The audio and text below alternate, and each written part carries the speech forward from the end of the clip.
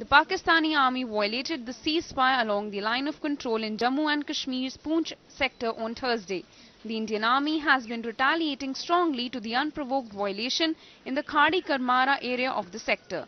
The Pakistan army earlier in the week also hmm. had initiated indiscriminate firing of small arms, automatics and mortars in the same sector.